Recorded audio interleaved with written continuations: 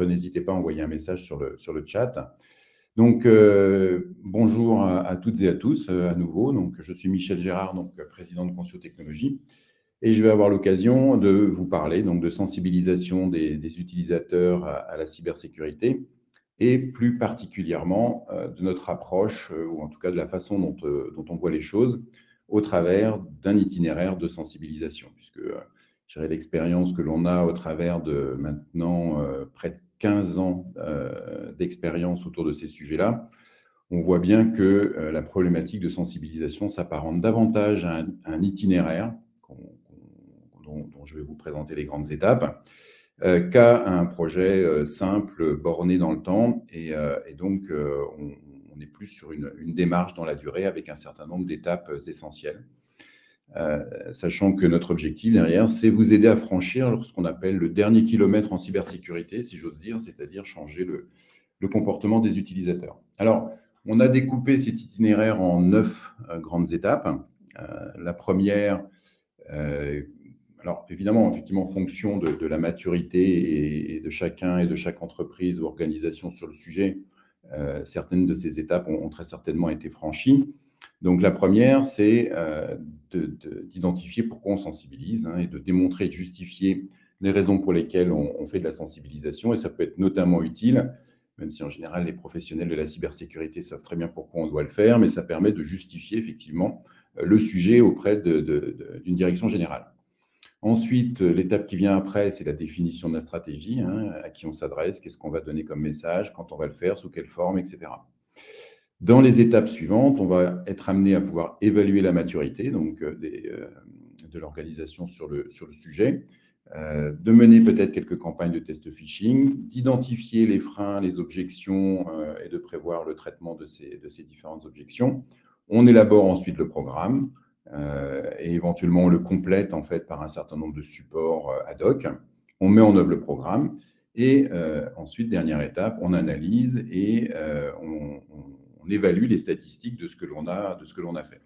Ce qui fait qu'en fait, vous percevez bien que euh, quand on est arrivé à la neuvième étape, on ne s'arrête pas vraiment là et euh, on est plutôt dans un cycle euh, qui va devoir, à partir du moment où on a fait cette analyse-là, reprendre à nouveau la stratégie, l'amender, la modifier et repartir donc sur une, sorte de, circuit de démarche d'amélioration permanente euh, en, s'abstenant, a priori, de devoir justifier à chaque fois pourquoi on sensibilise. Donc, raison pour laquelle ce chemin s'est transformé donc, dans, cette, euh, boucle avec ces différentes, ces différentes étapes. Alors aujourd'hui, euh, la présentation que, je vais vous faire, en fait, sera découpée selon le, sommaire que, vous voyez. Donc, euh, bah, pourquoi sensibiliser? On va revenir sur ce sujet-là. Euh, la définition de la stratégie, comment est-ce qu'on définit cette stratégie et comment on la met, euh, on la présente? L'évaluation de la maturité, donc faire une, espèce de photographie de là où on en est en matière de maturité cyber. On va également parler des objections. C'est souvent quelque chose qui n'est pas forcément traité de façon tout à fait correcte. Donc, euh, on, aura également euh, euh, cette, partie qui est, qui, est, de voir comment quelles sont les objections auxquelles on peut avoir à faire face et comment on peut, comment on peut les traiter. Bon, derrière, après, il y a toute la réalisation du plan, l'organisation et, le développement des différentes étapes. Et nous rejoindra dans quelques minutes M. Richard Dieu, donc, qui est le responsable sécurité et sûreté des systèmes d'information d'Intérial Mutuel, qui nous apportera son témoignage sur euh, ce qu'il a pu faire en la matière, euh, et donc notamment euh, sur ces différentes, sur ces différentes étapes. Donc, il m'a prévenu qu'il serait un peu en retard, donc il nous rejoindra dès que possible, et à ce moment-là, je, pourrai lui donner la, parole. Pendant le déroulé de la présentation, n'hésitez pas à poser vos questions. vous pouvez le faire notamment au travers du, chat, c'est peut-être le plus simple, et bah, je tâcherai d'y répondre au, fil de l'eau. Hein, ça me paraît plus, facile peut-être pour vous aussi, plutôt que de regrouper toutes les questions à la fin. Donc, euh, n'hésitez pas à, intervenir. Donc, premier, première partie, pourquoi on sensibilise? Donc, euh, je, me doute bien que euh, la plupart d'entre vous, vous, savez déjà pourquoi, mais là, j'ai voulu vous donner un certain nombre d'éléments qui pourraient éventuellement vous servir si vous avez besoin de, faire cette justification auprès notamment de votre direction. Alors, je précise aussi que euh, dans les slides que vous allez voir, sur certains, il y a, beaucoup, il y a, pas mal de textes. L'idée, pour moi, ce n'est pas ici de vous lire à chaque fois tout le texte, mais comme je sais que euh, plusieurs personnes d'entre vous voudront télécharger la présentation et pouvoir s'en servir après, le fait qu'il y ait beaucoup de texte permettra en quelque sorte, comme on dit, hein, qu'elle soit autoportée et donc vous ayez la possibilité de, réutiliser son contenu. Alors, première raison, bah, c'est déjà parce qu'il existe une menace. Alors, j'ai repris cette phrase d'Olivier Piquet, directeur général de l'IS Charmel, parce que je pense qu'elle est, assez évocatrice. Les cyberattaques, c'est le seul truc qui peut vous foutre la boîte en l'air en 24 heures. Donc, c'est lui qui l'avait dit lorsqu'il y avait eu cette fameuse attaque de cette société Lise Charmel. Un salarié qui avait euh, utilisé euh, sa messagerie, avait ouvert sa, messagerie personnelle, cliqué sur un mail, enfin, c'est le, cas classique hein, du phishing qui, a, euh, ont derrière, euh, permis, l'activation d'un ransomware. 98% des machines ont été cryptées. Et euh, ça a été tellement grave qu'il a fallu un redressement judiciaire pour pouvoir surmonter cette épreuve-là. Et donc, l'entreprise a mis 10 mois à s'en remettre.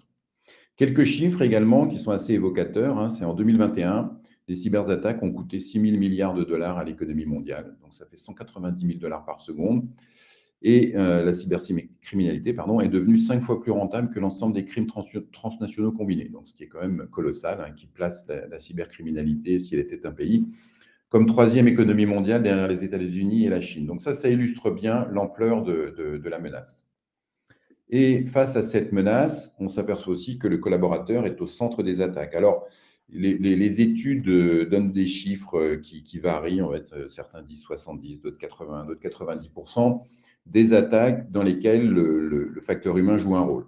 sans, rentrer euh, forcément dans cette querelle de, chiffres, ce qu'on peut voir, c'est que euh, le facteur humain est appliqué massivement dans les, attaques et les cyberattaques, hein, au travers des, attaques notamment de phishing, de ransomware, enfin tout ce qui est ingénierie sociale, euh, dont, l'escroquerie au président fait partie, l'usurpation d'identité, etc.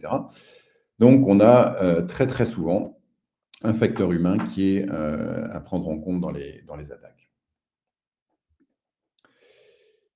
Une des raisons principales, si ce n'est peut-être la raison principale, euh, c'est que sensibiliser donc réduit les risques euh, de façon extrêmement significative.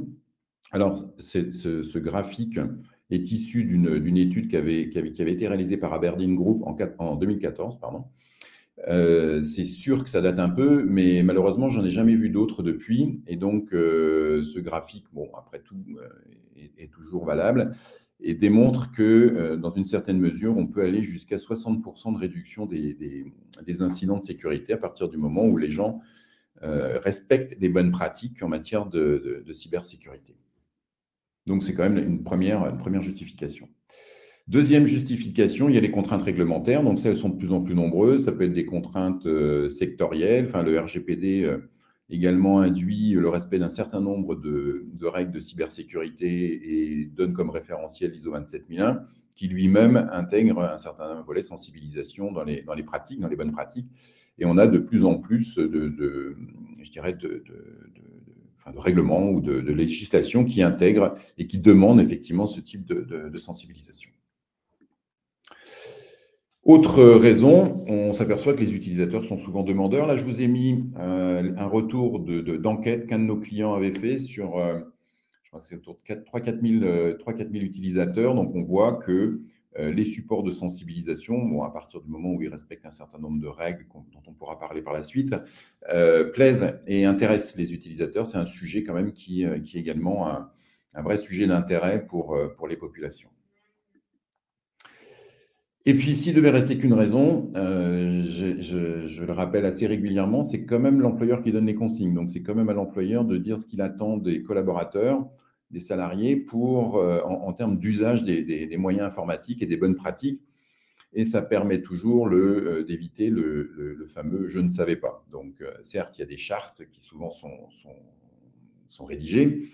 les utilisateurs sont censés les respecter mais c'est encore mieux si euh, on s'assure qu'elles ont bien été comprises et, euh, donc euh, on aura d'autant plus de chances que l'utilisateur respectera cette, ces, consignes. Alors, une fois qu'on a, qu'on sait pourquoi on, va sensibiliser, donc le, point suivant, c'est de définir cette, cette stratégie, enfin son, son plan d'action, en quelque sorte sécurité, dans lequel on va pouvoir recenser quels sont les objectifs qu'on poursuit dans la sensibilisation. Hein, c'est pas mal de le, formaliser. Donc, ça va être d'aborder quels sont les risques, quels sont les, risques en fait de, perte d'informations, d'informations sensibles, d'informations à caractère personnel. Je dirais qu'il y, a pas mal de risques qui, peuvent être mis en, en évidence. Euh, c'est de responsabiliser les personnes, notamment à la protection de, l'information et des différents outils du patrimoine de l'entreprise. C'est de diffuser, bien évidemment, les, règles d'utilisation, euh, les bonnes pratiques, et le cas échéant, de, rappeler également un certain nombre de, responsabilités juridiques qui, peuvent notamment être, également euh, soulignées dans un certain nombre de cas. Ensuite, donc là, sans rentrer aussi dans le, détail du slide, ce qui est intéressant, et là, ça dépend vraiment de où vous en êtes aussi en matière de sensibilisation. Euh, si c'est le début, j'ai tendance à dire, ça sert peut-être pas à grand-chose de faire un découpage aussi fin de la population. En revanche, plus on avance dans la maturité, il peut être intéressant d'identifier, d'avoir des, discours et des approches différentes en fonction des différentes catégories de personnel donc que ce soit les décideurs, que ce soit l'ensemble des collaborateurs ou certains profils spécifiques, les informaticiens, un certain nombre de, tiers, des consultants, sous-traitants, clients, etc. Donc, euh, et en fonction de ces, de, ces, euh, ces cibles, on va identifier ben, qu'est-ce qu'on va effectivement euh, dire à ces différentes personnes, qu'est-ce qu'on va leur présenter comme contenu et comment on va les, sensibiliser. Un point important, ça, ça dépend évidemment de la taille de la structure, mais il peut être intéressant d'avoir des correspondants, des relais euh, qu'on va traiter différemment, qu'on va davantage responsabiliser sur le développement de la culture euh, cyber, et donc euh, qu'on va aussi privilégier dans un certain nombre d'opérations de, communication. Donc tout ça, c'est intéressant dans, la stratégie, peut-être pas initiale, mais qu'on affine au fur et à mesure, de bien identifier quels sont les différents types de populations auxquelles on va, s'adresser. Après, on va identifier quelles sont les, actions possibles hein, dans, dans, la mise en œuvre de cette stratégie. Elles sont multiples. Euh, nous, chez Conso Technologies, on intervient essentiellement, pas uniquement, vous le verrez, mais essentiellement sur des aspects de sensibilisation en ligne. Mais euh, ça ne veut pas dire que, bien évidemment, une stratégie de, sensibilisation se limite à ça. Il va y avoir potentiellement des workshops, il va y avoir des, euh, publications sur des intranets, il va y avoir la, la distribution d'un certain nombre de supports, etc., des affichages. Enfin, il peut y avoir pas mal de choses qui viennent compléter euh, toutes ces, enfin, qui, viennent, euh, comment dirais-je, euh, constituer une mosaïque d'actions qui vont permettre de, de, Alors, je vois qu'il y a Ah non, c'est juste pour dire bonjour. J'ai cru qu'il y avait quelqu'un qui avait posé une question, excusez-moi. Donc, bah, bonjour. Et, donc, c'est cette, cette mosaïque d'actions qui va donc ensuite venir s'articuler dans cette, stratégie de, sensibilisation. Alors, bien évidemment, dans la stratégie, on va identifier quelles sont les thématiques. Alors, il y a, ce qu'on peut appeler les incontournables ou, les essentiels. Nous, on, appelle ça euh, très souvent dans nos modules les, essentiels. Et, euh, et, puis après, ben, en fonction euh, de la cible et de, ce que l'on veut mettre comme message, là encore, pas forcément tout tout de suite, hein, ce n'est pas l'objet, mais de prévoir effectivement dans cette, dans stratégie de pouvoir traiter aussi des aspects comme à la maison, parce qu'on s'aperçoit aussi que les collaborateurs, quand on leur parle notamment de leur domicile numérique, ça peut les intéresser et euh, ils peuvent prendre en compte peut-être plus facilement euh, des, des, bonnes pratiques qui vont les toucher spécifiquement parce que ça a aussi un impact sur leur vie personnelle. Et puis, ben, les spécifiques qui, eux, qui, qui, là, vont plutôt toucher différents types de populations. Et en fonction des profils qu'on aura identifiés auparavant, on, va traiter aussi ces spécifiques-là vers les différentes, euh, les différentes populations concernées. Et les actus, euh, ça, c'est un sujet que je trouve qui est assez intéressant. Euh, c'est en fonction de ce qui se passe dans l'actualité. Les gens, bien évidemment, sont tous au courant de l'actualité, enfin la, grande majorité. Donc c'est intéressant aussi de leur apporter des contenus en fonction de cette actualité. Par exemple, nous, on vient de sortir euh, une vidéo sur, sur la cyberguerre, qui, qui, reste de la sensibilisation. Hein. C'est vraiment pour expliquer au plus grand nombre euh, ce que revêt la, cyberguerre hein, en, rapport avec euh, l'actualité euh, en Ukraine. Et donc, on, a, publié une vidéo qu'on a mis à disposition de tous nos clients. Et donc, ce qui permet aussi de faire des campagnes ponctuelles sur des sujets d'actu en fonction de ce qui peut se, se, passer dans cette, dans cette actualité. Donc, une fois qu'on a, euh, identifié qui, quoi, euh, comment, bah, après, il faut articuler tout ça dans un planning, euh, dans, notre, dans notre stratégie. Donc là, c'est un exemple un peu sommaire dans lequel vous allez retrouver en haut à gauche un premier, volet autour de la de, dirais-je de l'état des lieux, un état des lieux en quelque sorte, des campagnes de test phishing pratiquées régulièrement, une campagne socle qui peut regrouper les, essentiels ou servir typiquement aux nouveaux arrivants, et donc d'avoir une, espèce de, campagne de fond qui, qui, permettent de, regrouper les, points essentiels que vous voulez diffuser, des campagnes thématiques, après ciblées peut-être en, en fonction de certaines de certaines euh, types de, certaines populations, des workshops, notamment à destination des managers, pourquoi pas, et, euh, évidemment bah, le, fait d'avoir un, rapport, un bilan annuel, donc et, de cette façon-là, toujours dans l'idée de, de s'inscrire dans une démarche d'amélioration permanente.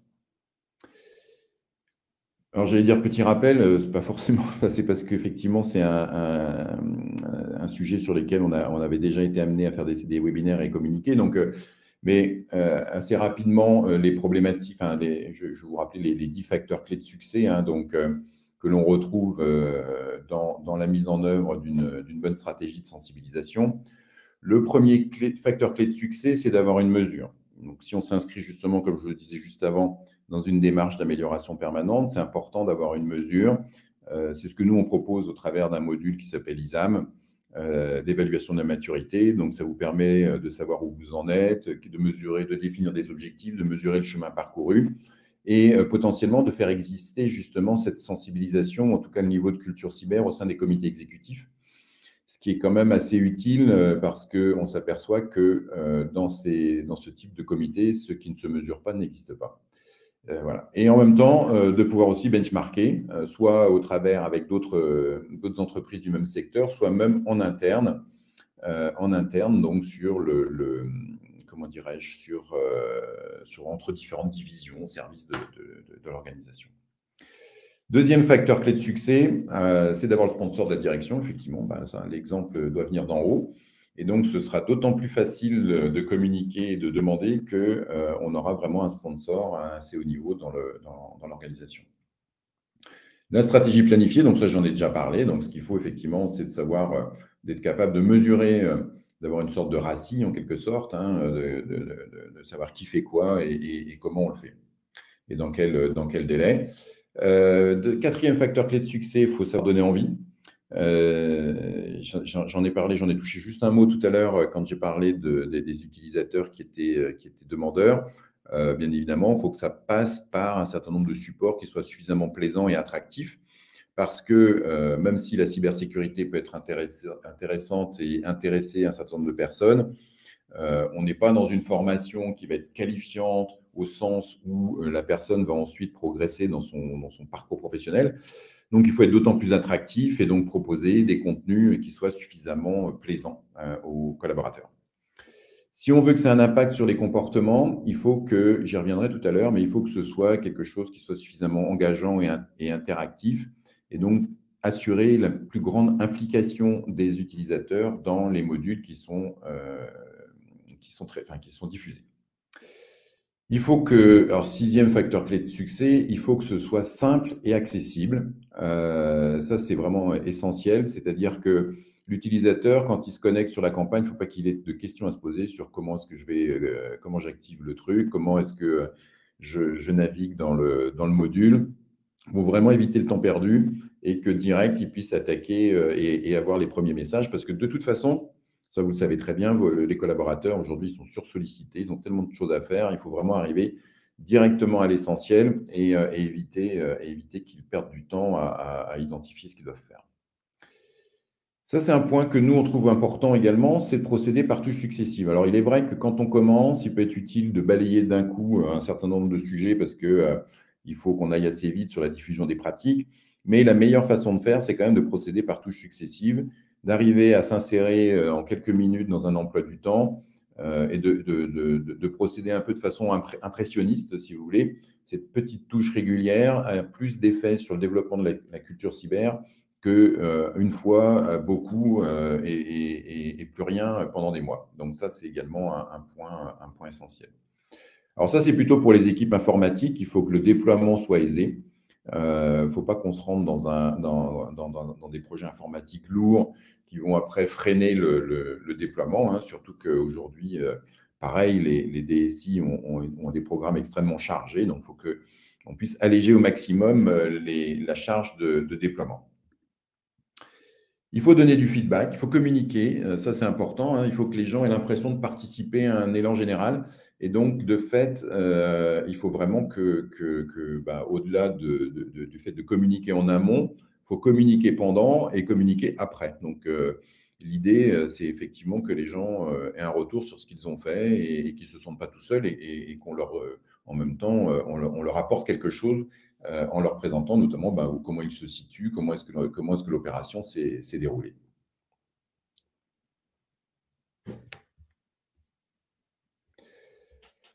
Je regardais s'il y avait un, message ou une question. N'hésitez pas hein, si vous avez des, questions euh, ou si vous souhaitez commenter tel ou tel, point.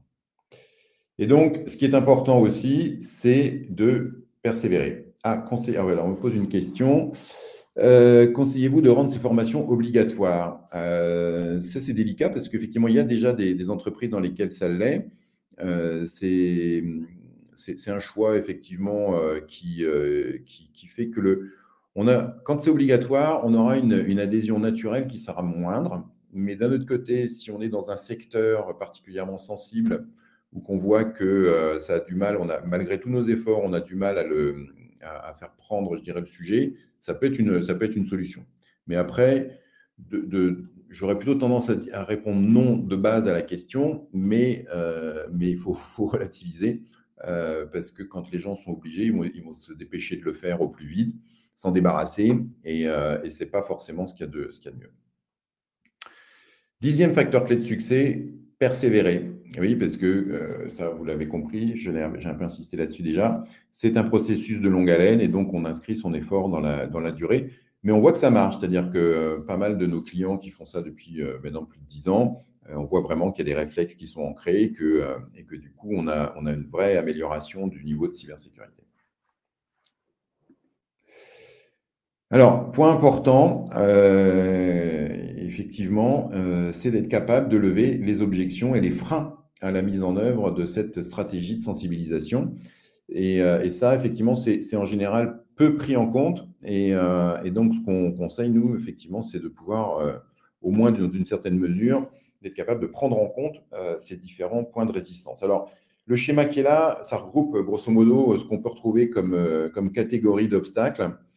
Euh, on va aller de l'inconscience. Hein, euh, heureusement, il y en a de moins en moins, mais euh, c'est des gens qui sont absolument pas conscients de la cybermenace et donc ils perçoivent ni, les dangers ni, ni, la menace. Ça peut encore exister, ou en tout cas, sans être complètement inconscient, certains peuvent la sous-estimer, ce qui est déjà une forme d'inconscience.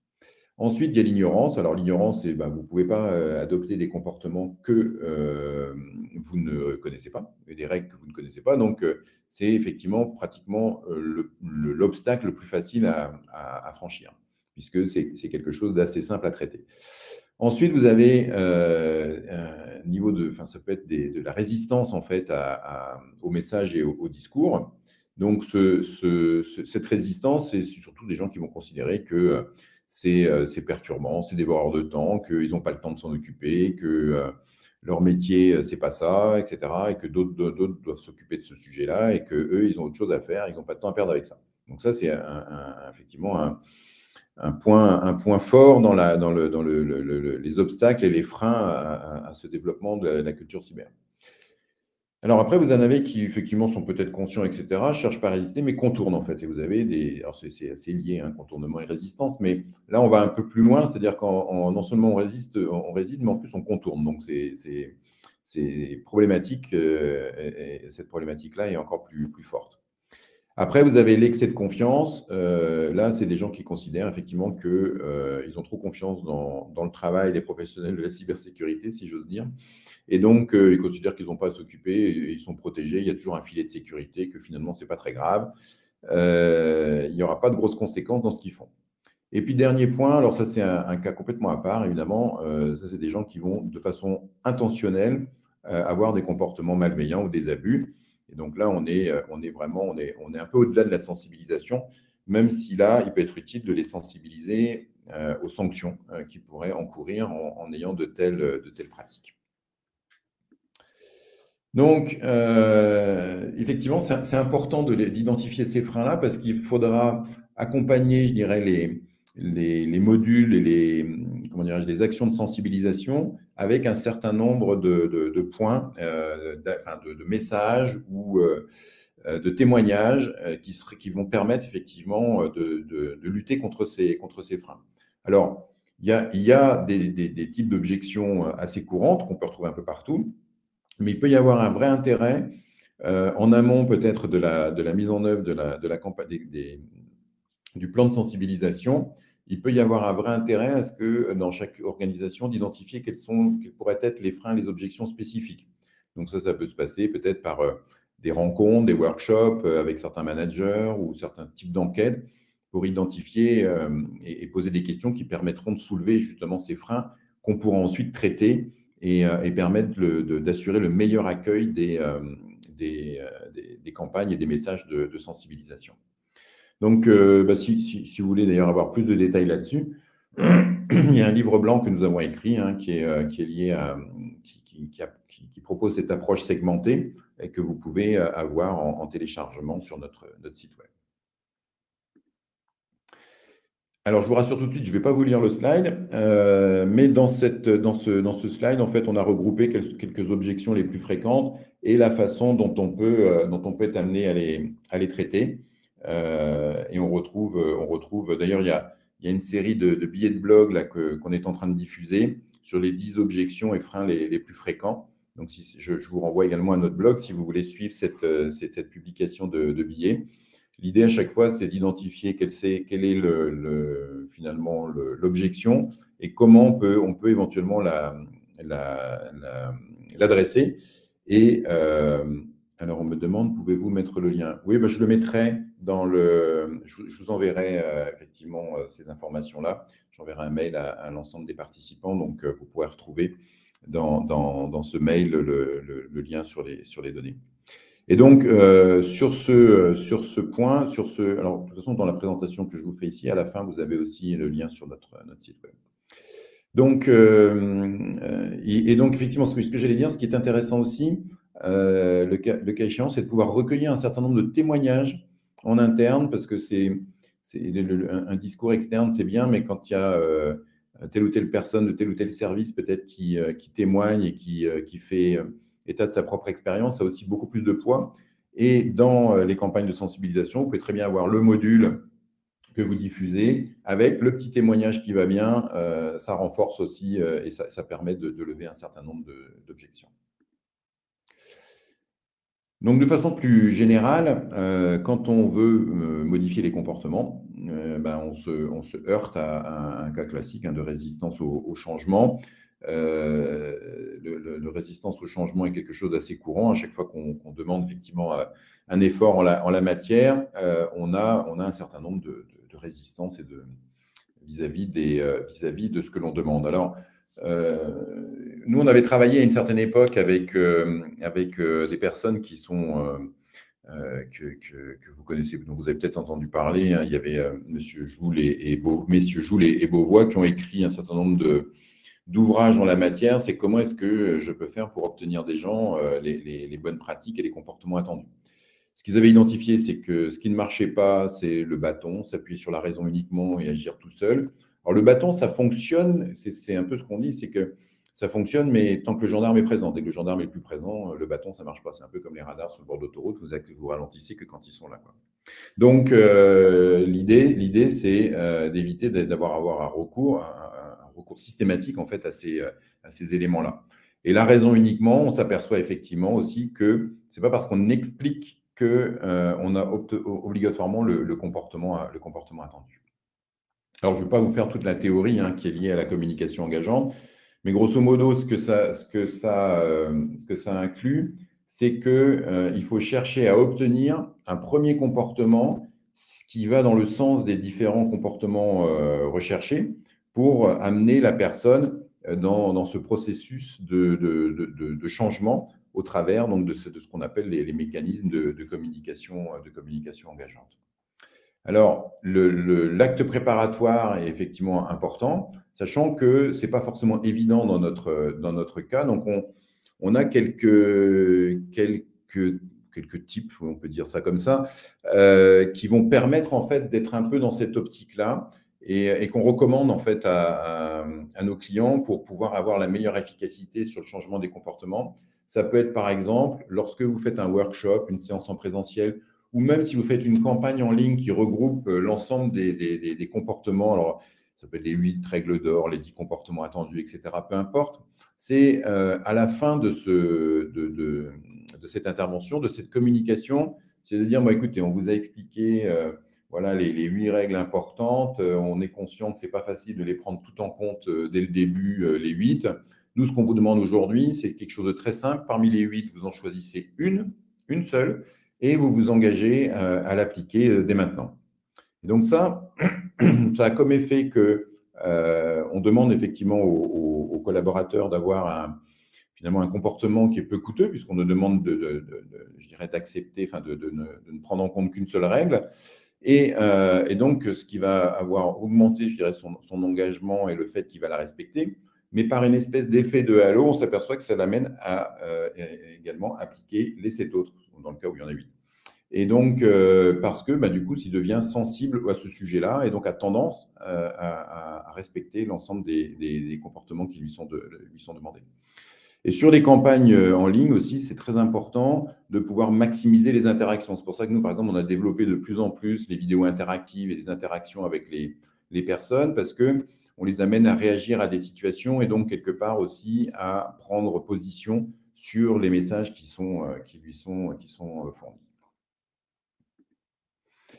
Alors ensuite, on va être dans le, dans le déroulement des, actions. Hein. donc, comment est-ce que je vais dérouler les, actions? Donc, euh, je vais avoir un, programme. Donc, on, en a parlé déjà tout à l'heure. Alors, ça, c'est un exemple de, programme qu'on va dérouler. Euh, donc, on va, on va au départ essayer d'avoir un, état des lieux, donc euh, une enquête de maturité, des, campagnes de test phishing. Ça va permettre d'avoir une photo, je dirais, de, des points forts et des points faibles, et ensuite donc de passer à la suite dans la diffusion des modules de sensibilisation euh, pourquoi pas sous forme de capsules, euh, des choses qui sont des modules assez courts et qui vont permettre pendant la durée de l'année d'égrainer en quelque sorte les messages de, sensibilisation. Et puis à la fin, on analyse, on benchmark et, euh, et on, identifie ce qu'on va faire par, par la suite. Donc l'évaluation de la maturité chez nous, ça se fait au travers d'un outil qui s'appelle ISAM. C'est une enquête, hein, donc c'est euh, il y a une trentaine de questions, ça varie en fonction des années parce qu'on le met à jour. Donc, euh, et ça va permettre d'avoir vraiment une, vision complète, à la fois pas seulement sur les thématiques hein, euh, qui sont fortes ou pas, mais également sur la perception que la personne a de la façon dont la cybersécurité est traitée dans l'organisation, comment c'est pris en compte par le management, par les, collaborateurs au sens large, et puis s'il sait quelles sont les règles, est-ce qu'elles sont, est sont appliquées, etc. Donc c'est il y, a, quelque chose d'assez complet euh, qui permet d'avoir une bonne photo donc, de, cette, de cette maturité. Et, donc, par là même, bah, de pouvoir en servir d'instrument de mesure, comme je le disais tout à l'heure, euh, dans l'évolution et le développement de la stratégie sécurité. Les tests de phishing factice, alors ça, c'est à prendre un peu avec des pincettes, mais c'est toujours utile quand même de, euh, pouvoir tester un peu le, niveau de vulnérabilité, en quelque sorte, des personnes à des tests de phishing.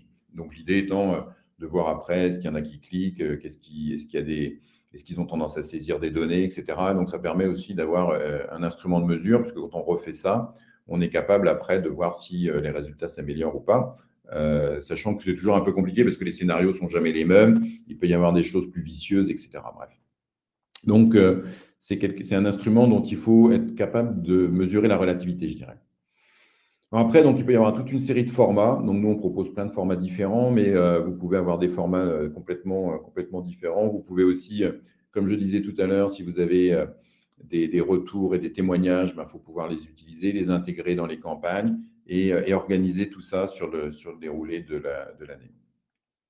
nous, on, est assez favorable également sur tout ce qui est approche micro et nano-learning, mais tout ça pour être dans le cadre d'une approche par, par touche successive hein, et de le, gros avantage, c'est que c'est en général le message est court, donc il est facile à retenir. C'est facile à planifier dans l'agenda d'une personne, puisque ça va lui prendre 5-10 minutes max euh, au total, connexion comprise, pour, euh, pour visualiser le, message. Et puis, alors c'est un peu de notre côté ça, mais c'est aussi, ça permet d'être très réactif. Hein. c'est pour ça qu'on fait aussi des modules d'actu, parce que c'est plus facile à produire, donc on peut aller assez vite dans, le, dans la production de nouveaux contenus. Alors ça, c'est un point également qui est assez souvent sous-estimé, c'est qu'il faut bien communiquer euh, et, bien soigner, notamment tout ce qui est email d'invitation et de relance quand on fait des campagnes en ligne pour euh, améliorer l'impact de, ces campagnes et faire en sorte qu'on ait le maximum de gens qui participent. Donc là, je vous ai mis trois exemples de messages. Vous allez voir la, différence de, ces messages. Le premier, on va dire le, plus basique possible. Bonjour, la cybersécurité est un sujet d'importance vitale, la plupart des attaques s'appuyant sur le facteur humain. Nous vous proposons de suivre cette campagne de sensibilisation à la cybersécurité. Nous comptons sur votre participation. À bientôt. Deuxième message. Bonjour Marie, alors déjà on met le prénom. Notre direction générale a placé la cybersécurité en tant que priorité vitale. On ne compte plus les entreprises de notre secteur victimes d'une cyberattaque. Les dommages engendrés sont parfois irréparables. La vigilance de tous s'impose. Pour vous aider dans cette lutte, nous vous avons préparé cette campagne de sensibilisation. Nous comptons sur votre participation. À bientôt. Donc là, on, accentue sur euh, l'impact et la demande de la direction générale, le caractère un peu dramatique et, important du sujet, et on demande à chacun de participer. Puis alors, le troisième message. Bonjour Étienne, votre collègue Hubert a perdu le contrat de la société Torino. Découvrez ce qui s'est passé dans la vidéo 6 juin. Cela risque-t-il de vous arriver? Vous voyez, dans le dernier message, en fait, bon, évidemment, vous ne l'envoyez pas, ça, ce message-là, il faut que ça ait un impact et que ce soit lié à son, activité. Donc, ça pourrait être par exemple celui d'un commercial. Et, euh, et, donc, avec euh, derrière une, vidéo qui va souligner l'incident. Donc, vous voyez, je ne sais pas ce que. Ce que N'hésitez pas, si vous voulez, dans le chat, à mettre selon vous euh, de 1, 2 et 3, quels sont les, quel est le message qui aura le plus d'impact selon vous. Mais euh, moi, j'aurais tendance à penser que euh, le dernier message va donner plus envie en fait à Étienne de, euh, visualiser le contenu que les, deux, que les deux premiers. Alors le deuxième étant bien évidemment plus puissant que le, que le premier parce que on a, on a l'impact de, la direction générale qui est, qui est rappelé. Ça, ce que je veux dire, c'est que en fonction des campagnes, de la cible et du contenu que vous allez faire, le côté mail d'invitation, un peu teasing est important pour maximiser cette, cette, participation. Alors, il peut être intéressant de mettre des certificats. Euh, donc ça, ça permet de tangibiliser aussi la bonne fin de la, de la campagne. Donc, vous pouvez avoir un, certificat associé au déroulé de la campagne. Euh, dans certains cas, ça peut être utile puisque la personne puisse présenter en fait ce, certificat euh, à sa hiérarchie ou, même à son client, pourquoi pas, si c'est quelqu'un qui travaille avec un certain nombre de clients. Et, euh, également, euh, on a aussi la possibilité d'avoir des fiches thématiques, fiches thématiques qui peuvent être associées aux campagnes en ligne ou diffusées à part. Euh, la sensibilisation par l'objet, donc ça, ça peut avoir un, vrai intérêt aussi, c'est d'avoir un certain nombre d'objets qu'on diffuse et qui rappellent brièvement telle ou telle règle de, sécurité.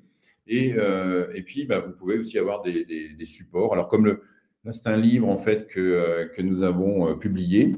Euh, qui est un livre de sensibilisation. Le piratage informatique ne passera pas par moi. L'avantage du livre, c'est que dans ce livre-là, fait 118 pages, euh, avec accès multiple hein, dans, le, dans le livre, en fonction des thématiques, bah, vous pouvez avoir euh, un objet qui va être là en rappel permanent de, finalement du sujet, de l'importance du sujet. Et, et, et, les gens ne jettent pas les livres en général, ça se jette assez peu. Donc, euh, c'est un rappel permanent euh, qui, est là toujours. Euh, alors, évidemment, s'il peut être rangé dans un tiroir, au fond d'un tiroir, mais disons qu'il peut, il, a une durabilité, on va dire, qui est supérieure à un module en ligne ou, une communication bref.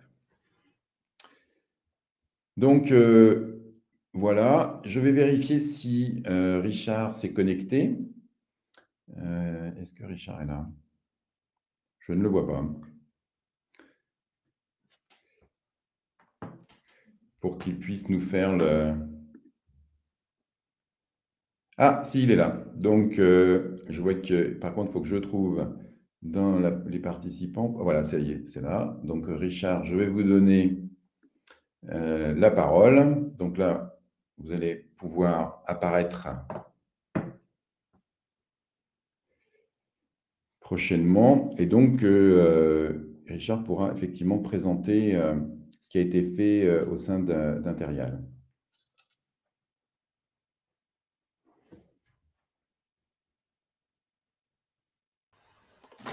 Voilà. Je crois qu'on n'en est pas loin. Bonjour Richard. Bonjour. Bonjour à tous, bonjour à toutes. Pas. Alors, euh, bah, écoutez, effectivement, donc je vais faire un retour d'expérience euh, de, comment dire de la. Je vous entends pas, mais. Euh, ah. Pourtant.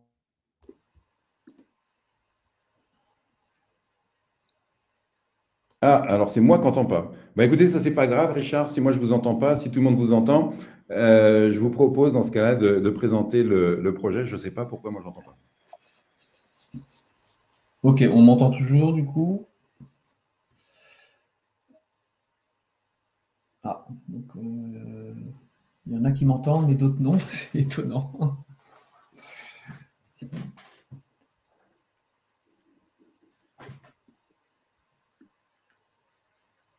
Bon, la plupart, on m'entend. Donc, euh,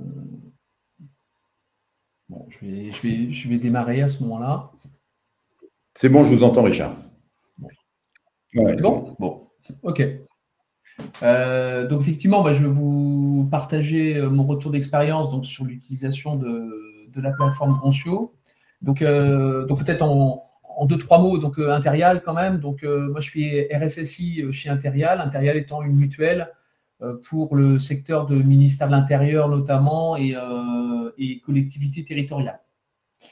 Euh, donc on a, on, a, on va dire, un public sensible pour des données qui ne le sont pas moins. Donc on a, on a des enjeux qui sont quand même assez importants en termes de, en termes de sécurité de nos données. alors, on utilise donc SensiWeb depuis 2021. Donc, on, est passé par, par un appel d'offres classique plusieurs soumissionnaires, etc. Et donc, on a, on a choisi euh, SensiWeb, on l'a mis en place à peu près en mars 2021, euh, euh, avec le périmètre qui est donc sur l'écran, hein, à peu près 650 utilisateurs, un admin, trois managers. Et on a commencé, donc on a tout le bundle. Hein. On ne s'est pas posé de questions, donc on a tous les formats qui ont été décrits d'ailleurs par M. Gérard précédemment. Donc on a, on a donc euh, fait d'abord une étude euh, pour savoir un petit peu les besoins. Donc on a effectivement utilisé le ISAM. Ça nous a permis d'avoir un petit peu une évaluation, euh, parce que ça ne se faisait pas avant chez nous. Hein. Il n'y avait jamais de, de, campagne, de, sensibilisation. Il n'y avait pas une vraie politique de, sensibilisation, parce que pour moi, c'est quand même un, sujet euh, permanent euh, qui, demande quand même une certaine organisation outre la partie utilisation technique. Donc on a après cette comment dire cette évaluation ISAM, donc on a choisi donc donc plusieurs thématiques. La première ça a été la campagne cyberhéros. on a aimé, enfin, en tout cas chez nous, on a, aimé ce côté un petit peu, un petit peu disruptif euh, avec des scénettes où les personnes, bah, comme son nom l'indique, hein, cyber-héros, les personnes étaient, euh, sont intégrées à l'histoire, plutôt que d'avoir quelque chose où vous ne devez pas faire ça, vous, vous devez faire ça, euh, sur lequel les, les, gens ne sont pas très acteurs. Et nous, chez Interial, on croit en tout cas que le fait de rendre les gens actifs, ça rend la, comment dire, le e-learning plus, plus sympathique, parce que le e-learning, c'est un peu le problème. Euh, c'est un peu de, il y en a un, il y en a plusieurs, il y a d'autres thématiques, et chez nous, en tout cas, ça a été un peu le, souci de pouvoir l'intégrer dans tous les autres e-learning que nous avons euh, sur des thématiques différentes. Donc, euh, ce qu'on a apprécié, c'est justement ce côté un petit peu, décalé, un peu sur, sur, lequel ils sont acteurs et ils peuvent intervenir. Donc on a, mis en place donc cette, euh, partie euh, campagne cyber-héros. Euh, et en même temps, on a, fait, et c'est ce que ce qu'on a apprécié donc dans la plateforme, on, a utilisé, on use et abuse l'utilisation de, campagnes de phishing où on a choisi en fait de faire crescendo, c'est-à-dire au départ, on a fait vraiment quelque chose de très très simple. Euh, ce qui permet normalement d'avoir un taux de réussite important, en tout cas on, l'espérait, et progressivement de pouvoir euh, augmenter justement la complexité et notamment de pouvoir lancer des campagnes de phishing, et ça c'est ce qui est pas mal aussi, c'est de pouvoir, par le, comment dire, la capacité d'export-import justement de données que nous avons salariés, de pouvoir, par exemple, envoyer à la DSI, qui, qui, est quand même un public averti, de pouvoir lui envoyer des, campagnes de phishing qui sont beaucoup plus relevées euh, par rapport à, chez nous, à une personne qui fait euh, du standard ou autre chose. Donc on a, vraiment mixé en fait euh, par population des, campagnes de phishing. La campagne CyberHero, par contre, on l'a mise en place pour tout monde. Et après, on a utilisé aussi, comme c'est indiqué, notre RSE interne on a notamment donc euh, récupéré des Funny But Serious qu'on a mis, a euh, là directement sur notre RSE. Euh, c'est des formats donc d'une minute hein, qui sont plutôt plutôt sympas et surtout une minute c'est ça, passe. on a eu plutôt un bon taux de un beau taux de couverture sur ce sur ce créneau là. et après, on a fait une animation carrément où on a véritablement fait un, un master quiz, un master quiz avec des lots, avec euh, une sorte de petit peu de, championnat, euh, championnat où euh, moi je récupérais en fait les données de les données d'export et d'analyse pour challenger un petit peu chaque direction. Donc où il y avait par exemple 20 personnes de notre la direction projet, l'autre la DRH, etc., etc. Et l'objectif sur le master quiz qui fait 100 questions, bah, c'était de récupérer le gagnant de chaque euh, direction. Et c'était des lots derrière, donc euh, des lots euh, que l'on voit donc sur l'écran. Et là, j'ai été plutôt agréablement surpris du taux de réussite, puisque nous avons eu sur à peu près, alors c'était 450 à peu près utilisateurs qui étaient, qui étaient comment dire, concernés, puisqu'on a aussi une population de prestataires, etc. Bah, on a quand même eu 140 euh, personnes qui ont fait euh, le master quiz, c'est-à-dire sans question, euh, sans que ce soit quelque chose qui soit obligatoire, hein, parce qu'encore une fois, c'était une animation qui était complètement, je veux dire, à la bonne volonté de chacun. Donc là, vraiment agréablement surpris, c'est un bon taux de, un beau taux de, de, réussite. Il y a eu vraiment une, un engagement là-dessus, on a fait un petit peu d'animation.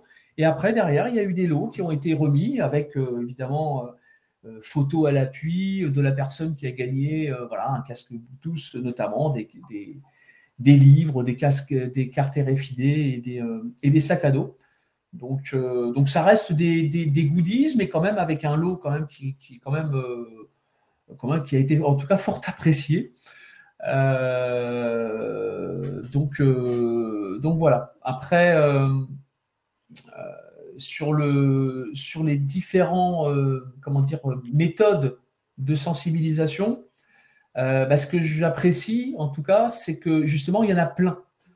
Et, en tout cas, euh, la, vision que l'on a chez, chez Interial, en tout cas que, je peux avoir, c'est que on n'arrivera jamais à toucher en fait tout le monde de la même façon. Il y a des générations X, des générations Y, des générations Z.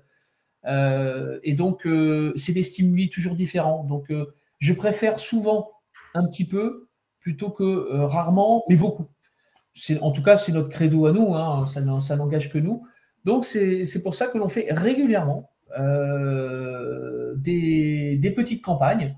On fait une campagne annuelle, là que je vais faire bientôt au mois d'avril, une vraie campagne avec là pour le coup un format d'à peu près 45 minutes, euh, un format obligatoire en tout cas pour tout le monde, euh, et là, ce sera un format un peu plus long. Et par contre, régulièrement, des Funny But Serious. Euh, là, très récemment, euh, j'ai partagé un, comment dire, une vidéo sur la cyberguerre, pour lequel j'ai eu des retours bah, plutôt, plutôt sympathiques, donc qui étaient très bien faits d'ailleurs. et après, d'autres formats que, que l'on mixe en fait régulièrement pour ne jamais relâcher la pression. Voilà. Il y, a, Marie qui pose une question, euh, qui vous pose une question, Richard. Avez-vous une population résistante? Est-elle importante? Comment faites-vous pour les convaincre? Alors, résistante, je pense pas. Euh, par contre, les convaincre, c'est pas évident. C'est-à-dire que dans la première campagne que nous avons fait en mars 2021, j'ai eu 57% de réponse. Mhm.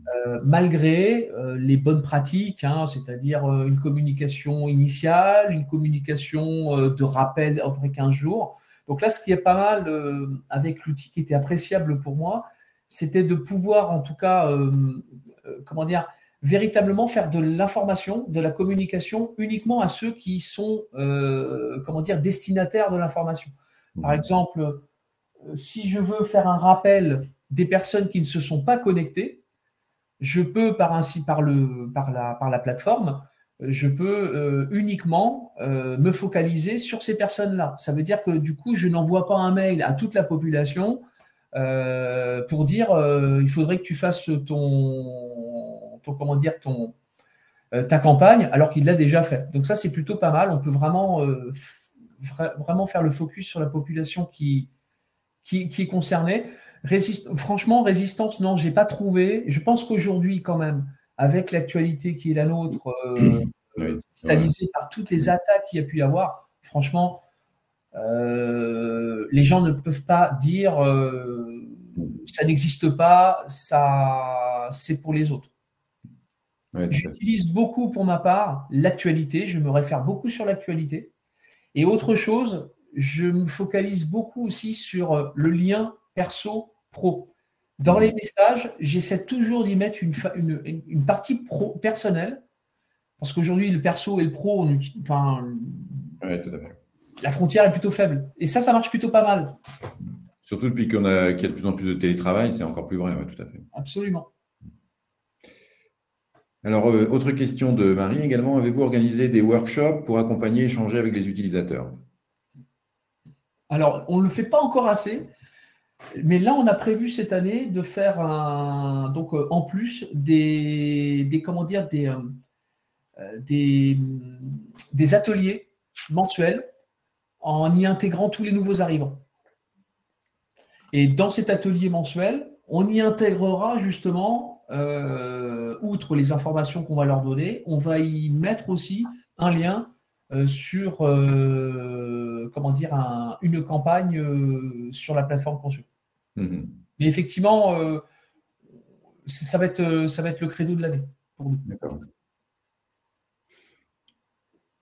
Merci beaucoup Richard pour ce, témoignage. Est-ce qu'il y a d'autres questions sur, sur la présentation générale ou sur le témoignage de Richard?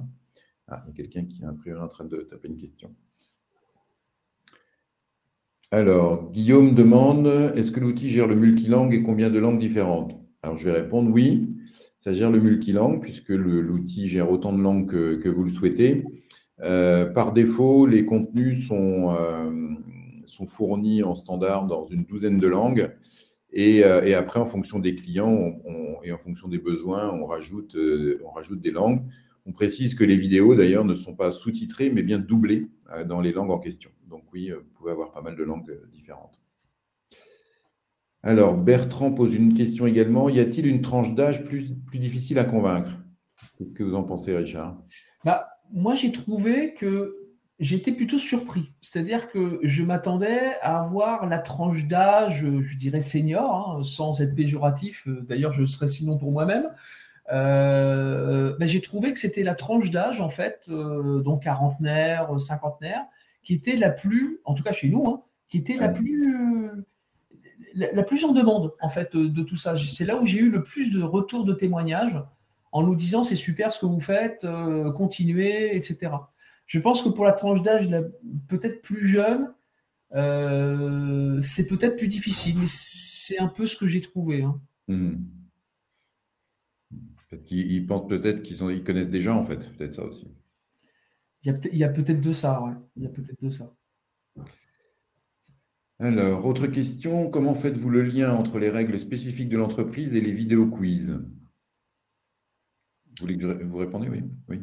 Allez-y sur les règles spécifiques de l'entreprise, je ne suis pas sûr de comprendre la question en fait. Alors moi, je vais, essayer de répondre si j'ai bien compris. Mais euh, en fait, euh, avec la plateforme, comme vous avez la possibilité de personnaliser les contenus sur SensiWeb, euh, nos clients peuvent adapter les réponses et, et le, contour, je dirais, de, tous les modules à, au message particulier de, de l'entreprise. Notamment tout ce qui est quiz et activités peuvent être complètement personnalisés.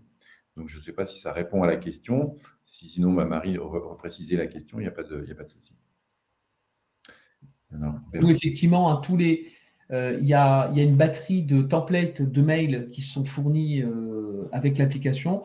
Effectivement, comme c'est des templates qui sont euh, génériques, mm. nous, bien évidemment, on, a, on les a retravaillés, on a mis le logo, on a mis le logo de l'entreprise, etc., etc. Donc, on les a, on les a customisés à l'entreprise.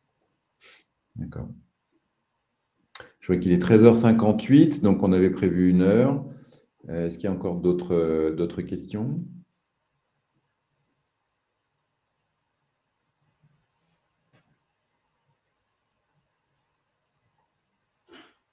Non, je vois qu'il n'y a pas d'autres questions. Donc, euh, Richard, vous voulez rajouter quelque chose ou euh, c'est bon pour vous? Non, bah, à part que justement, bah, on a, on a comment dire, euh, on a renouvelé en fait notre, notre partenariat avec, avec Concio, donc là, au mois de bah, tout, mhm. dernièrement. Donc, donc voilà, on est, on est satisfait de la solution et en tout cas, les, les, retours que l'on a pu avoir euh, sur les différentes euh, campagnes et comme j'en parlais tout à l'heure, les différents euh, comment dire, stimuli que l'on a, que l'on a utilisés, on a, on a un bon retour là-dessus. Je vous remercie. Alors, Guillaume demande, c'est un outil Concio, vous êtes revendeur d'une solution? Non, c'est notre outil. Hein. C'est-à-dire que Concio Technologies est éditeur de la solution SensiWeb. Et euh, c'est un, produit que nous avons entièrement développé nous-mêmes et qui, je dois dire, même a été conçu dès le départ dans cette optique hein, de gestion des, campagnes de, sensibilisation. Donc, euh, il y avait eu une première version, on avait commencé là-dessus en 2007. Euh, et, là, on en est à la, version 3 maintenant, qui est la version qui est, diffusée. Et de même, les modules également, tous les modules sont développés par nous, les modules de, de contenu. Pour répondre à la question de Guillaume. Très bien, bah, je vois qu'il est 14 heures, donc on va respecter le délai. Je ne vous ai pas fait une présentation détaillée de Concio Technologies parce que je voulais surtout qu'on accentue sur le fond et non pas sur, sur euh, l'aspect commercial. Donc, euh, la présentation que, vous avez là euh, comporte une présentation également de Concio Technologies. Donc, si vous la téléchargez, vous aurez également toutes les informations nous concernant. Et donc, en tout cas, je, vous remercie beaucoup, Richard, hein, pour votre, votre témoignage. Je remercie tout le monde également pour, euh, pour leur participation. Un grand merci et, euh, bon après-midi euh, bon après-midi à tout le monde et, à la prochaine fois. Merci beaucoup et, et au revoir. Au revoir. Au revoir, Richard.